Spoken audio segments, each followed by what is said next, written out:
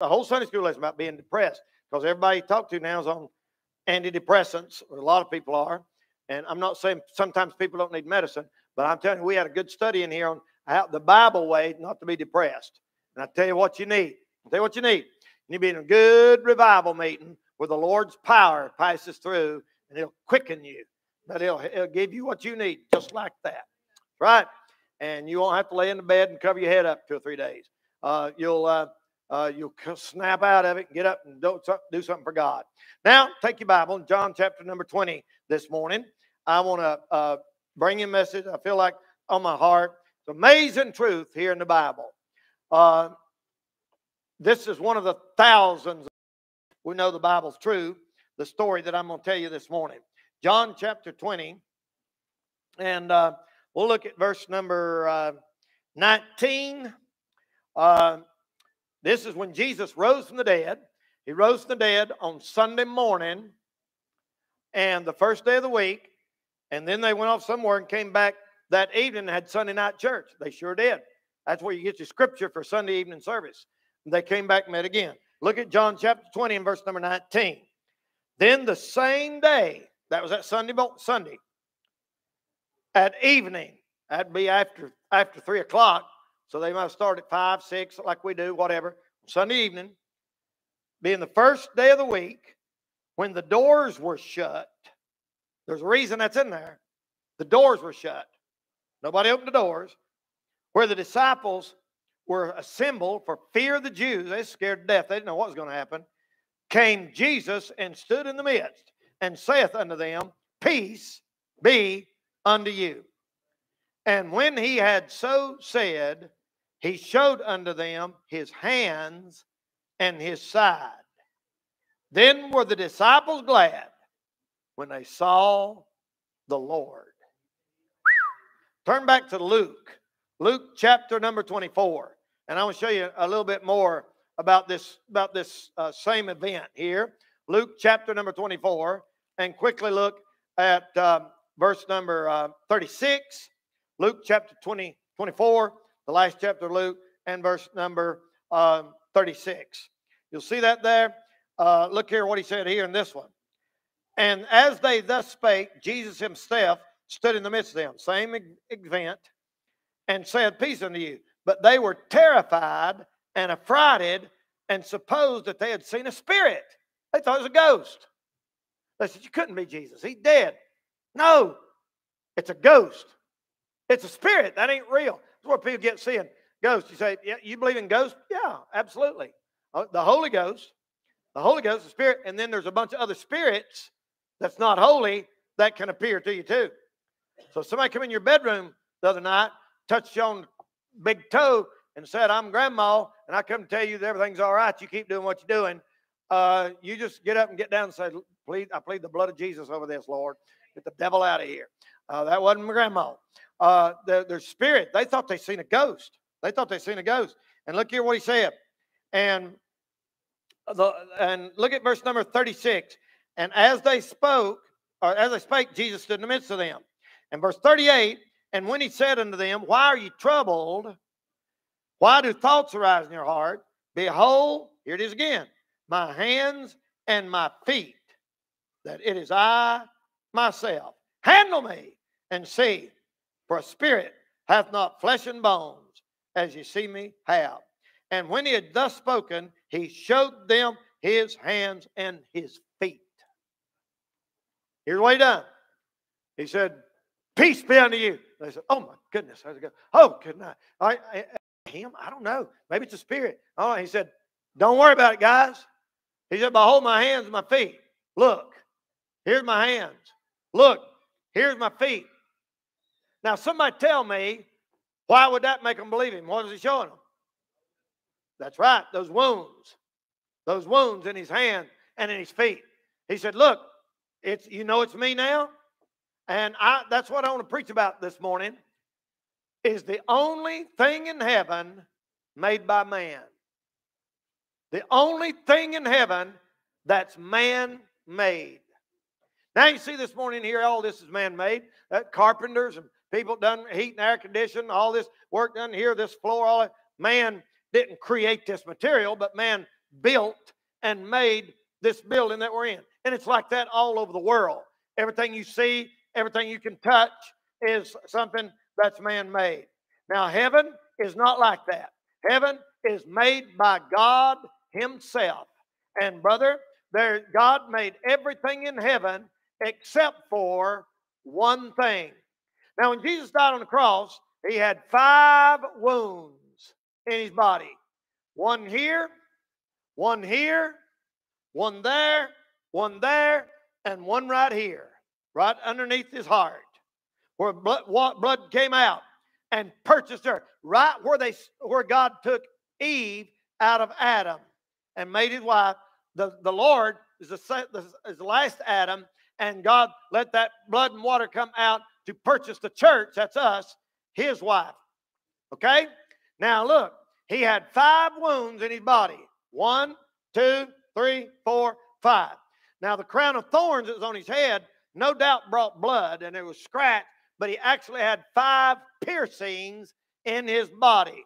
Now, this morning, I want you to look at me that way this, this morning, and it is a, it, it, it established his identity.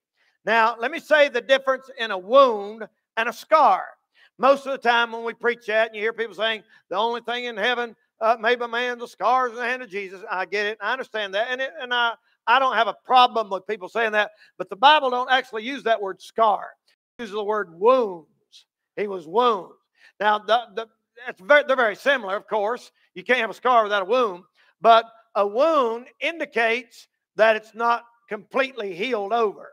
A scar is something like like uh, where somebody stabbed me with a pencil right there when I was a little kid. Still got a little dark. I don't know if it's lead or what. I got one right here where I got shot when I was 15 years old. Boy, playing around heard me tell that story. Got a little scar right there. Got a little scar right there where it came out. I got one right there, self-inflicted. Uh, like an idiot when I was about 10 years old. I run through the house and leave my hand on the stove, on the, the heat heater of the house. And uh, uh, those scars, those, those scars stay with me the rest of my life. This body is scarred. I got one right here where I had a bicycle wreck and just ripped my arm right down through there. It's still there right now. And that was uh, years and years and years ago. Those are scars. Now, a wound would be more like something that happened yesterday or something, just a, a sore that's not not healed over at all. Now, this had just happened three days before this. But here's what I want you to see, and, and we'll talk about that for a minute. Here's what I love about this story is the Lord didn't have to do that. I mean, why did he do that? Why did God do that?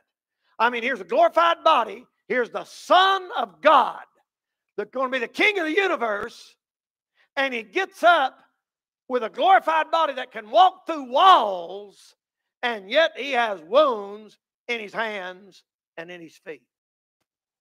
Why didn't God fix that? You ever thought about heaven? How perfect heaven's going to be? Now, this building here is not perfect. I mean, if you look real hard, you can see some waves in that sheetrock there, right? We tried to cover them up and use flat paint and everything else. Uh, so, uh, uh, but you you look at most most houses and you you put a ruler on them or a level or something. I mean, there's imperfections. I don't care if it's a million dollar mansion. Gonna help me, ladies.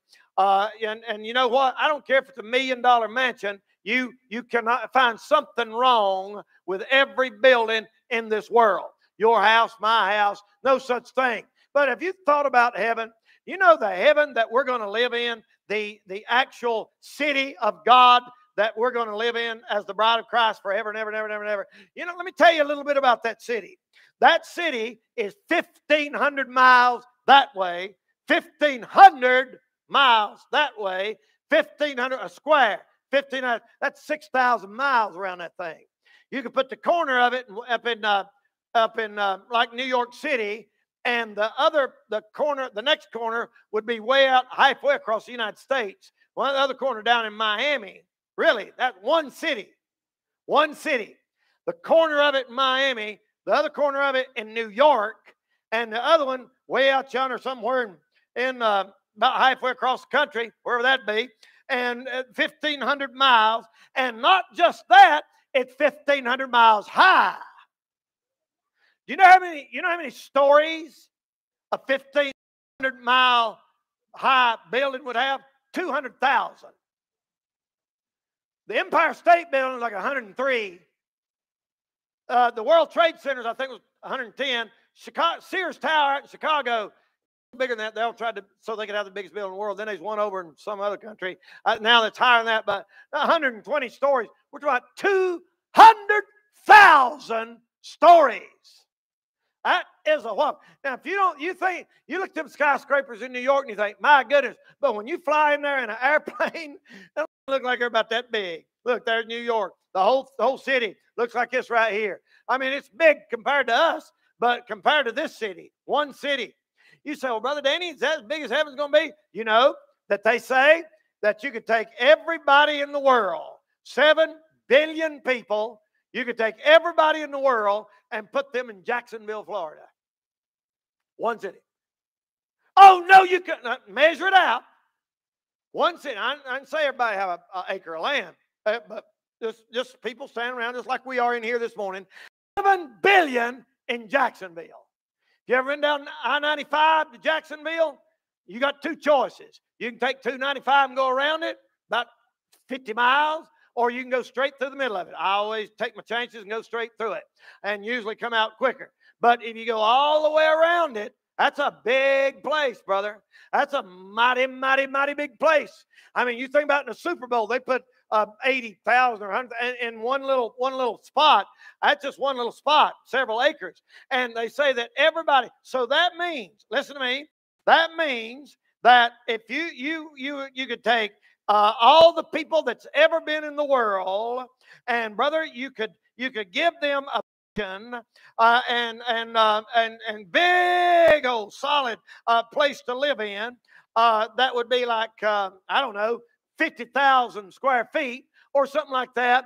All the Christians that are going to be in heaven, not counting tens of thousands of acres for the river of life to come down through there. For the throne of God, I don't know how many thousands of acres that would be. There's God sitting up there on the throne. You're talking a big city. And the Bible said those gates of that city are made out of pearl. And listen to this it said the streets are made. People say the streets are paved with gold. Uh, it said they're, they're made out of pure gold real pure gold kind. You it's transparent. You can see through it, and it's solid, 24 karat gold, or ever how far I can go up with that. The streets of gold. Can you imagine how much a city would be worth that had a gold street from here to New York? You know, a little bitty piece of gold. You know what that's worth? Look, people, if you're saved, that's where you're going to live. And you know why you ain't shouting? Because, uh, oh, you let the world dull your hope, buddy. Our hope ain't down here. Our hope is up there. We got something better. You won't ever have to call the, the Orkin man. They ain't going to be no roaches. They all in roach hell where they ought to be. Ain't going to be no skeeters. Uh, uh, uh, there ain't going to be no torch. They ain't going to need no briars and thorns. They ain't going to be no hospitals. There ain't going to be no uh, uh, emergency rooms. There'll be no divorce courts. Nobody will be sick in a solid, I mean, solid gold street, y'all. Good night the morning. They fight over it down here. We walk on it up there. That's the sorriest thing our gold. Uh, what you make streets out of on solid gold. Can you imagine? You ever you ever walked on uh, uh, real river rock barefooted? How smooth them things are. You imagine barefooted walking down through the streets of gold. Glory to God. Hallelujah. And it's the absolute perfect measurement, absolute level, absolute peace, absolute perfect temperature. We don't even need the sun because the Son of God's there and He's the light. Amen, brother. That is where you're going to live. Rivers and lakes and parks. You'll never be bored. You'll be the best you've ever felt down here in this world times 1,000 forever and ever and ever and ever and ever. And there's only one thing there that man makes the wounds in the hands of the Lord Jesus Christ. Every, well, our body will be perfect. I won't have that scar no more on my new body.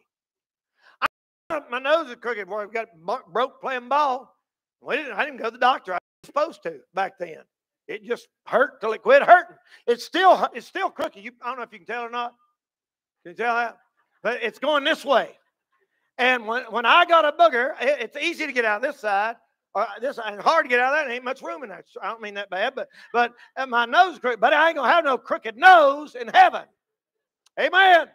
Amen. I mean, some some of you uh, some of you I could I could pick out a lot worse with most of y'all. Those imperfections will be gone, brother. Gone. Hallelujah. Perfect body. There and all of us millions of people. Does this seem fair to you? Does this seem fair to you that he did it all so we could go to heaven and we all get a perfect body except him? Ain't that just like him? Isn't that just like something Jesus would do? Amen.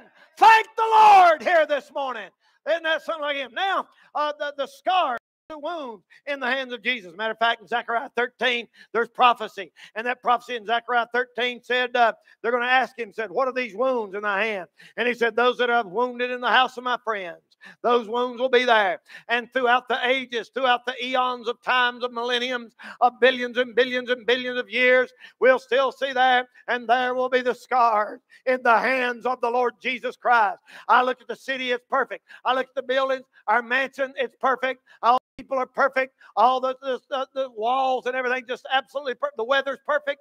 Uh, perfect temperature all the time. Never have a bad problem or anything. And there's only one thing there left from this old world, this old sin cursed world. And it's a wound here and a wound here and a wound there and a wound there and a wound here. He showed them his hands and his feet. By the way, it didn't say he showed them, he didn't wear a belly shirt girls.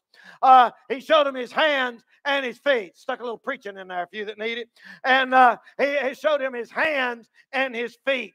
And he said, the Bible said, he said, these are, so look at me. You don't believe it? Look at there. Look at there. There's a wound. There's a wound. There's a wound. There's a wound. The only thing in heaven made by man. Now, uh, I'm going to give you just a couple thoughts right quick and we'll go. Why? Why is it that? Uh, why did God leave those scars in the hands of Jesus? Why didn't the Lord just say, okay, the suffering's done, you rose from the dead, perfect body, your body, well, uh, okay, and enter in and shout forever? Why didn't he do it? I'll tell you. Number one, because they had great influence upon them disciples. Tremendous influence. They had a little bit of doubt. They had a little bit of doubt. That ought to help you because we're like that too. Don't once in a while you have a little bit of a doubt. And I don't really know. Maybe this ain't the Lord. Maybe the Lord. I don't know about all. You, it's that's perfectly human. It's normal to doubt, but you should never doubt more than thirty seconds. But it's it's normal to doubt. And they doubt saying, I don't know if that's really him.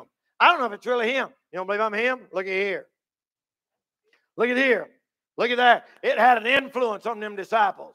Let me tell you, people, every one of those disciples Every one of them except for John, who escaped death by a miracle of God. They were dragged to death through the streets. They had their heads chopped off. They didn't have a big successful ministry. They were they were scorned, they were beat. They took clubs and hammers and axes and beat them to death. Some of them were crucified like Peter, upside down. Can you imagine your feet sticking up and your head up like this? Beat them to death. They drug them, they martyred them, they met everyone. Now listen, every one of them men, every one of them men, before they laid their head on the chopping block, before they put their hands out, do you think if they'd have been lying, if they'd have made that stuff up, like a lot of atheists say, you don't think they'd have backed out right there? They sure would have. Listen, if a man's willing to lay his life down for something, he believes it. And you know what that proves? It was a great sign and influence on them apostles. You know what it said? Then were the disciples glad when they saw the word. They said, It's him. It's him.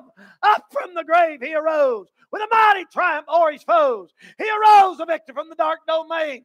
Lives forever with his saints to reign. He arose. He had great influence on them.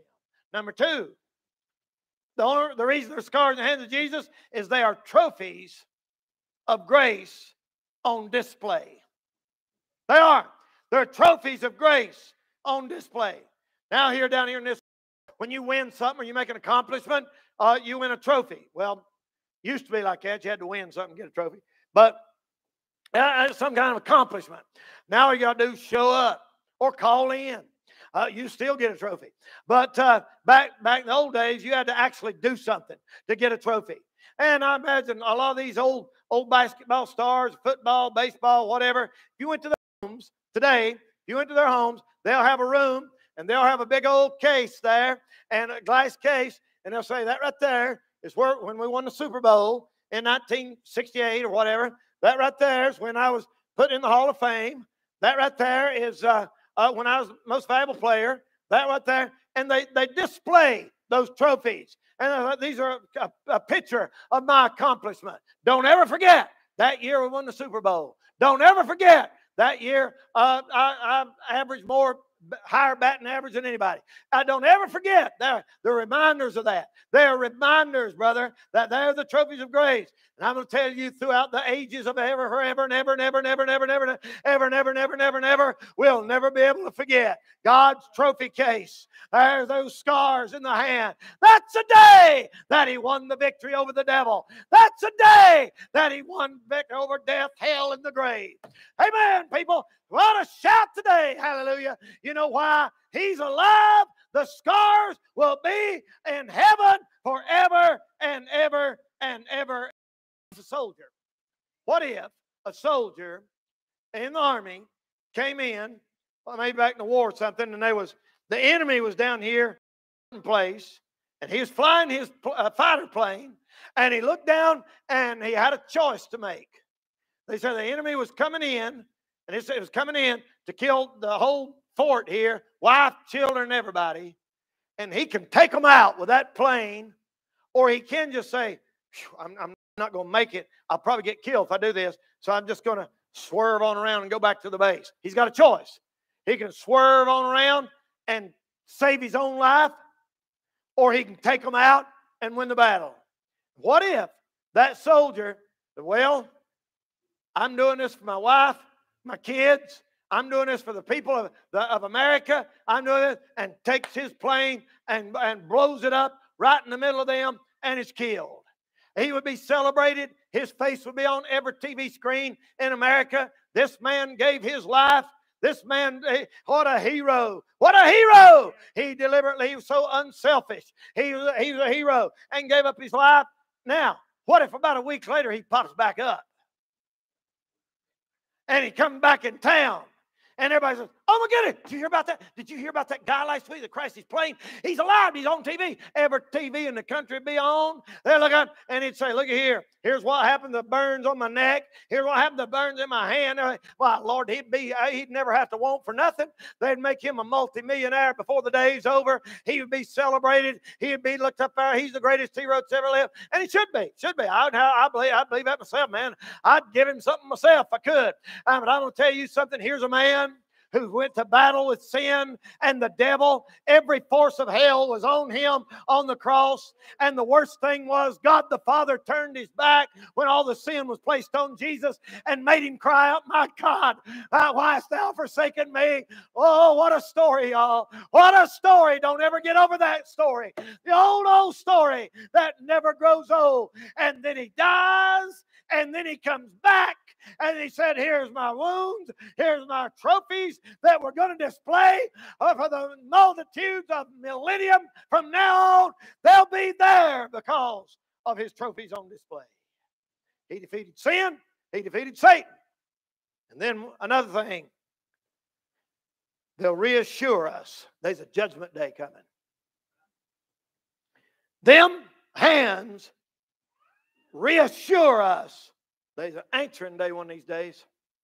All you people laughed at him, all you people mocked. Listen, I got that quote over Anton LaVey, the pastor of the First Church of Satan, and he, he writes in there and he says, he said, I dip my forefinger in the watery blood of your impotent Redeemer. Making fun of the blood of Jesus. I dip my finger in the watery blood of your Redeemer. It's ridiculous. One of these days, that man will stand before God. Now look and see those scars in his hands and in his feet. And God will say, You got anything to say for yourself? He won't. I've heard people say they would. Wow, you will. We had a guy tell us one time over in Niceville, we was out giving out tracts. This guy come he said, When I see the Lord, I'm going to run up there and choke him on his throne. Oh, yeah, you're about the stupidest person I ever met in my life, too. You ain't gonna run and choke him on the throne. You're not. going People say, "Well, I, heard that, that some old girl. I don't know who she is. She puts out videos. I have no idea. Somebody sent them to me or something, and she puts out videos laughing at the Bible and laughing at Christianity. She said, "That's the dumbest story I've ever heard in my life. God had a son, and God had to kill his son so he could forgive you. What kind of God? You know, some idiot. The idiots talk like that. And buddy, you know what people's wrong with that? I thought he is love. God is love, but I tell you what he is first. He's holy. Don't forget, that's why they don't understand. He's holy. He can't allow sin near him. So if somebody sins, there's got to be a price paid for it because of his holiness. But they don't know that. And she said, she said, if the God of the Bible came down here right now, she just said this the other day. She said, if the God of the Bible come down here right now and showed me he is real, I still wouldn't worship him. Any God like that, let little kids suffer and let I ain't gonna worship him. Now, that girl gonna stand in front of him one of these days. When she stands before God, her head will be, she'll understand then. She'll know why little kids had to suffer. She'll know why people had to starve to death. She'll know why they had to be war because the curse of sin on this world. People say that they say, if God's so good, why don't He fix it? Just calm down, brother. He's going to. It's the long suffering of God right now, just waiting on you. He's waiting on you to get right. That's why he's waiting on. He's waiting on people to get saved. But son, he's going to straighten this mess out one of these days. Don't you worry about it one bit. And those are a reminder and reassurance that judgment day is coming.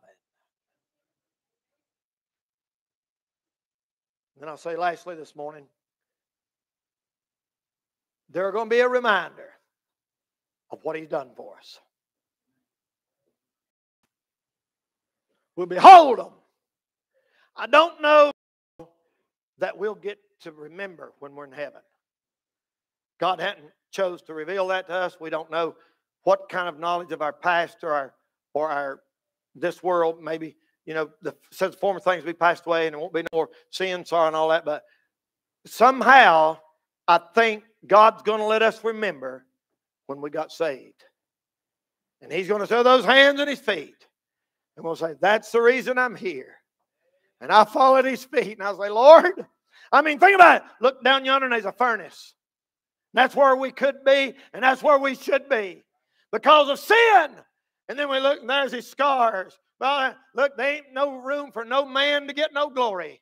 There ain't no room for us to think, wow, he's wonderful, he's great. No, buddy, there's only one person that deserves glory. There's only one person that deserves worship. There's only one person that deserves honor. The man who paid the price for our sins, y'all. Years ago, they said there's this man who his neighbor's house caught on fire. And there's kids in the house, and and daddy has gone to work, and the house caught on fire a long time ago and the man was trying to get over there to help him, and the mama burned to death. And uh, one of the kids, two of the uh, kids burned to death, and he heard a baby screaming. And that man rushed into that house and went through them flames with them all around him like that and grabbed that little baby and held him like this right here, protected him with them flames hitting his hands and run out and saved that little boy. And they said as time went by, that little boy didn't have no, he didn't have no uh, family or nothing. So he went into state care for the DSS, and the government had placed him in. And a few, about three, three, three, four years later, went by, and he's he's about four or five years old, and the state was trying to find a place for him to uh, to stay, and they had a court date set, and they had this court date set, and they said uh, anybody we, we know, you know, as foster parents, me and, me and Kelly are foster parents, and we've been through this. She goes through this. I let her do all that. All that court stuff. It's constantly, constantly trying to figure out this. Anyway, it was back then they was trying to find a placement for that little boy.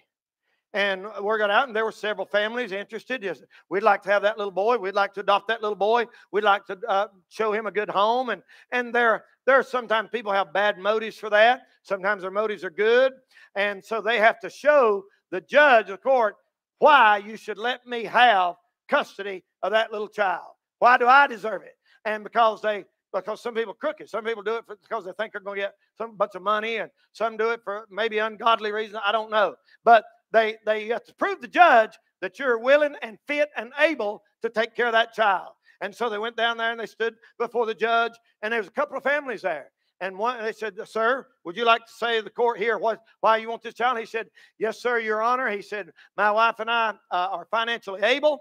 Uh, you, uh, you got to prove that. Are financially able to raise this child. We can give him a good home. we'll be good to him. Blah, blah, blah, blah, blah, blah, blah. And uh, went through it. He said, All right, sir, what do you say? Next guy stood up. He said, Your Honor, we have an extra room at our house. Uh, he'll have a room of his own. We'll raise him. We'll be good to him. And he said, Anybody else? And that one man stood up. And that man heard about what was happening that day. And he said, Your Honor, I'd like to take that little boy and raise him as my own. I'll do the best I can. And the judge looked and he said, What do you have, sir? What do you have that would merit this court giving you custody of this child? He showed him his hands. He said, That, sir. He said, I'm the man that went into that fire and pulled him out. My scars are proof that I really care about that. And obviously, you done guessed it, brother. The judge said, You got the kid.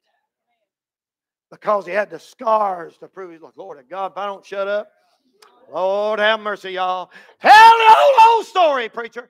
Tell it to me one more time. When I was laying up there on the floor at Nebo Baptist Church, I'd have never got saved. But somebody loved me enough to stick out his hand and his feet said, There's my scars. Let him go to heaven when he dies. Hallelujah. That's why he still got them. He still got them so we can remember. Don't you sit here this morning and feel like nobody loves you. He wants custody of you and a judge will give it. He loved you enough to die for you. The only thing in heaven, the plates, the forks, all made by God. Jesus left and he said, I go to prepare a place for you. So he built it. You know he's raising a carpenter's shop, right? What could he build in 6,000 years or 2,000 years? Hmm. Biltmore House, your foot. You can sell that for a tiny home. Uh, Biltmore House ain't a good uh, tree house, brother, compared to this one we're talking about. And the only thing there, we don't have no tiny home like Biltmore. Amen. We're going to see the scar in the hands of Jesus. Let's stand by our heads for prayer, please. Every head bowed, every eye closed. Luke, come on, Brandon, come on, let's sing a song this morning. Every head bowed and every eye closed. Maybe, maybe you're here this morning just maybe. You're not a Christian. And you say, Preacher, I really never heard that story put like that this morning, young lady, young man. Maybe you're here for a reason this morning, and God's brought you here. And God's speaking to your heart. Did you know you can get saved this morning? Did you know you can get saved? Everybody Jesus called in the Bible, he called them up publicly. We're going to have an invitation. If you're here this morning if you're here this morning and you've been saved, but you've drifted away from the Lord, and you've let Him get out of sight, and the things of this world clogged up your vision, you want to just come to the altar and say, Lord, I want a fresh glimpse. I want a fresh touch. Glory to God. Anybody love me that much? The least I can do is serve Him seven days a week. And I'm coming to that altar and I'm getting my heart right. Come on. If you're here this morning, you've never been saved, never been saved, this would be the best time ever for you just to walk out of your seat. Come down here kneel on this old fashioned altar and just say, Lord, I want what Jesus done for me. You can be saved today. It's simple. Just come, trust Him. Trust Him. You're not saved. By, you're not saved by crying. You're not even saved by praying. You're saved by trusting what He done for you on the cross. Let God speak to you this morning. Will you do that? Heavenly Father, I pray right now in Jesus' name for that one or those here today who needs to come, who needs to come. Help them, Lord, this morning to come. God, do business with you while there's still time. In Jesus' name we pray, and for his sake we ask it. Amen. Amen. We're going to sing this old song. Everybody knows it. Some's already come. If you need to come, just slide right out of your seat. Come on. Come on right now. Come on right now. Amen. Go ahead. Amen. Just as Amen. Let's all sing. I am without one plea. Everybody sing. But that Come on, come on this morning. Come on this morning, friends. Just get down on your knees. Say, Lord, I sure do thank you for shedding that blood. Let them nail, nail your hands, Nail your feet. Come on, young lady. Come on, young man. Of you ladies pray for these girls coming here. Amen. Just get down here on your knees. Amen. Come on.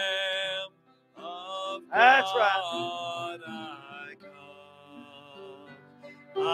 Amen. Amen. Amen. Let's all sing, everybody. Just as I am. Come on this morning. And waiting not. Sing it now. Will you come today? Will you come today? Others are coming. Others coming. How about it? You came on the bus. You came here this morning needing help. You come right now. Come on right now. Just slide right out of your seat. Give it to him. Give it to him today. Let the Lord help you today. Come on, friend. Come on. Come on right now. Of God, I come. Amen. I, let's sing one more verse. One more. Everybody, one more. This will be the last verse. Just as Amen. Amen. You need to come. Come on. Come on. That's right. He'll he'll receive you if you'll come. Because of nails, he'll forgive you your sin. That's right. Because thy promise I believe, O Lamb of God. I come. I come. I come. Well, praise the Lord. If you're glad and you're thankful, forever and ever and ever and ever, we'll see those wounds in his hands. Why didn't why didn't the Lord just fix it to where his body would not have that? That's why you'd think. That's why you know God wrote the Bible. People would think something like that. You'd never think. If people made up the Bible, they wouldn't put that in there. They said, Boy, you got a perfect body and we're all going to have, uh, you know. But the Lord left those wounds. He said, Here, look. My goodness. I don't know how I'm going to feel when I see that. Will I cry? Will I shout? I don't know how I feel when I see that. When you look at them wounds in Jesus Christ's hand and say, It's my fault. We think about them old low, low down dirty man that drove that nail, and he, oh, he ought to go to hell. Well, let me tell you something, buddy. Every time you said a cuss word, every time you drunk a beer, every time you told a lie, every time you done, that's you putting them, them nails in his hand. And me, we're responsible for that just as much as that man was. Our sins. Amen. Hallelujah. God's been good to us. All right. Well, if you're thankful for what the Lord done for you, holler amen. Glory to God. Hallelujah. All right, we'll take a little break, go get you something to eat, take you a nap, do whatever you got to do on Sunday evening. Be back tonight at 6 o'clock. Come praying.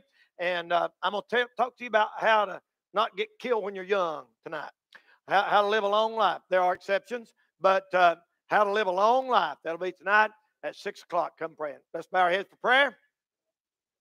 DJ, dismiss us, brother. Everybody be friendly. If you need to get signed up for the Rockingham trip for the bus, everybody's going to ride the bus to Rockingham. It's free, free supper and everything. Sign up here this uh, this morning. Okay, brother, go ahead.